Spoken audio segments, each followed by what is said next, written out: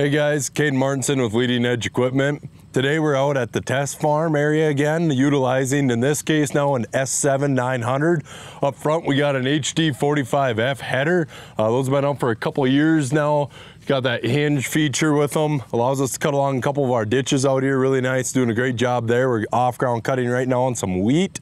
Uh, with the S7, we are also equipped with the ultimate technology package. So with that, we're getting ground speed automation. We're also utilizing the predictive ground speed automation. So I have uploaded via Work Planner on Operations Center, the satellite view imagery into this machine, and it's using that with the cameras those features are actually working really well out here right now. We're seeing anywhere from 10 to 20% productivity gains, and that is both throughput and productivity in acres per hour.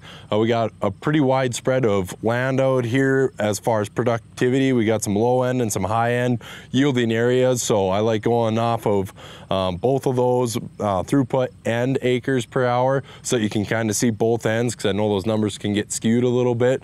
But it's doing a great job out here of giving us that extra productivity, more efficiency, getting things done there.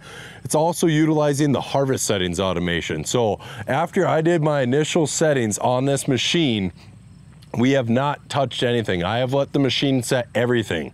And this grain is going to town and we are getting fantastic results right now. We're getting very minimal dockage with it. And again, I haven't touched anything. I have set our grain loss. I have set where I want my foreign material based off of some of our scale tickets.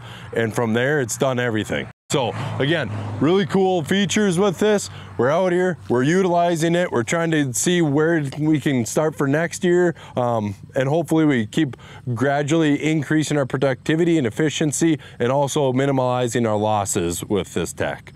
Please be sure to check out our harvest playlist and all of our videos on YouTube. If you got any questions, please feel free to reach out to Leading Edge Equipment. And as always, we appreciate you for your business.